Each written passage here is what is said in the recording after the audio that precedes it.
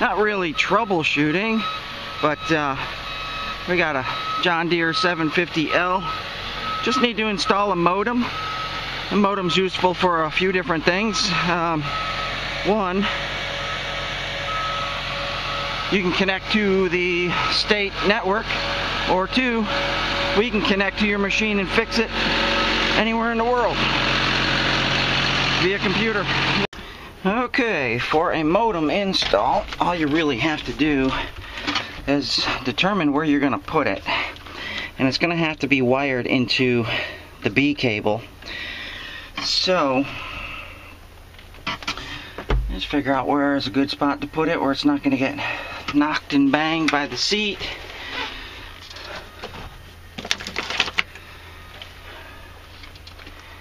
There's not a whole lot of good spots here, but I'm thinking right here would be fine.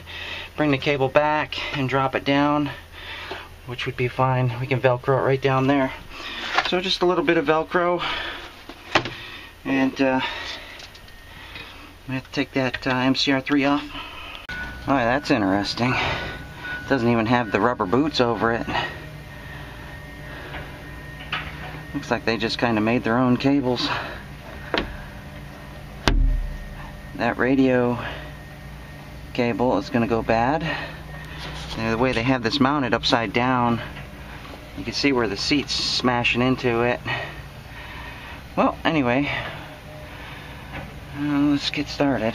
We just need this off the beacon. And the way this modem gets installed, basically just straight into the uh, B plug. You just remove uh, number 6 all the way to 36, so these first four and then 37 38 37 should be your power 38 should be your ground and uh, those will be your modem. And it draws its power straight from the box so. Okay so basically um, number six is going to be uh, green with white line the next one over is solid green. Next one over is white with orange. And next one over is solid orange. And then you have your red in 37, I think it is. And then uh, black in 38. And you should see a data light. You should also see status lights.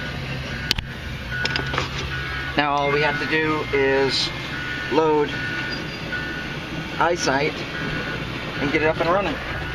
We have to put this back together. They didn't have any uh, rubber boots on it to protect these wires, so um, we're going to have to figure out something for this because that's just going to tear all those wires up down there. So we'll secure it somehow. There we go. That should suffice because it's facing upside down and the wires are rubbing down there, so um, don't want anything to get damaged and yanked out, especially my work. Not sure why they even installed that without the rubber boots, but uh, anyways, we got our modem set up, so uh, let's put it back together, get it up and running. Okay, we're all wired up. We have power, we have data. Now let's install the uh, eyesight see if I got my pen on me. I do. Device, USB. There's the program right there. We're gonna open. And you really don't you really don't see anything happen other than it kind of like blinks and changes. It's really quick.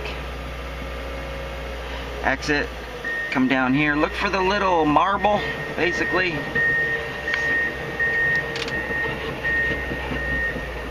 Hit configure.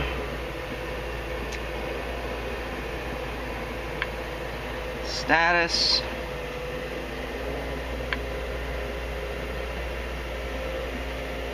And you see it says Mobi control connected to blah blah blah. Remote control connected. So it is connected. General status. General status says connected. Now it's been assigned on the other side. of the wire. So basically we're all set here. Um, power down. Give it a few. Alright, so you bring it back up.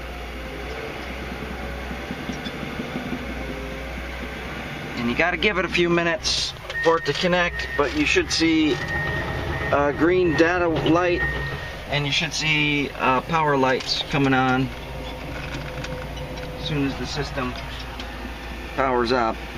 There it goes. and there's the lights. Alright, so once it comes up, it's going to want to go into the 3DMC. You're going to have to get back out.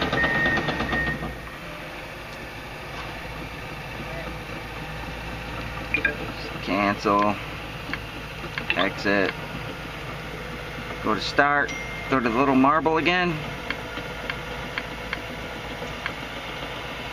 And you're just basically going to sit here and wait until that says connected. It says status disconnected. And if it connects, good. So we'll see. And our status is connected, so our modem is a good modem and we are connected so basically with that we could actually go uh, instead of using a base we can actually go network. We can use the states network. Um, it's not as accurate as a base but it is an option. And uh, also like I said we can actually Mobi control into this device